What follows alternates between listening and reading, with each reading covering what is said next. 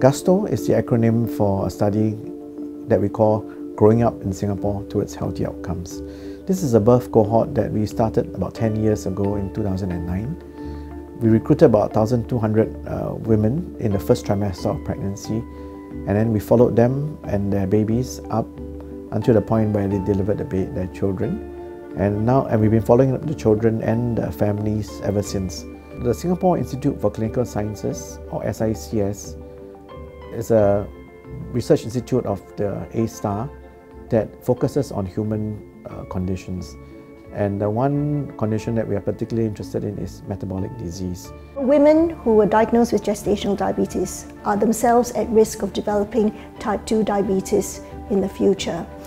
One of the uh, surprising things in Singapore is that within five years, 13% of our GDM mothers have already got type 2 diabetes and a further 30% have got pre-diabetes.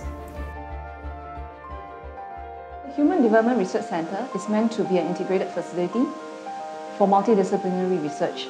So essentially it's a one-stop shop for us to do research in babies, infant toddlers, children, all the way to adulthood and it covers all sorts of discipline including cognition and metabolic outcomes.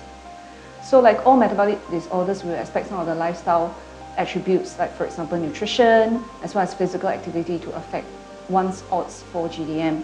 So in our group, we actually find that high physical activity is associated with lower GDM risk, especially in the overweight and obese group of women.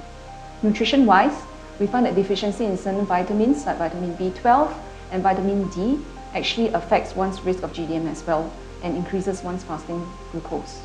There's also other lifestyle attributes that can contribute but is lesser known. So for example, like sleep and sleep quality.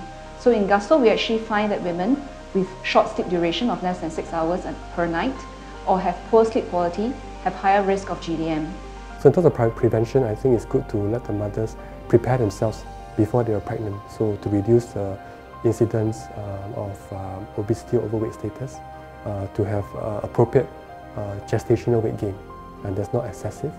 And of course, to watch the diet and continue to lead a healthy lifestyle throughout their pregnancy.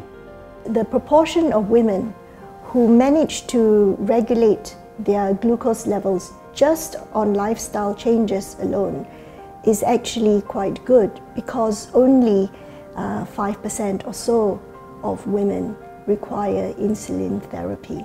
And this is a very low proportion by comparison to other Western countries. In the past, we have always been only doing high-risk screening, but I think our GUSTO study have revealed that uh, there are many women who did not satisfy the high-risk criteria, but yet they're found to be diabetic. One major step forward is really to do a universal screening on all women who are pregnant. That's one way to detect everybody at risk. Universal screening for gestational diabetes has been introduced in all the public maternity units in Singapore. We will keep on trying to find out more about gestational diabetes and what the risk factors are for women uh, for developing this condition.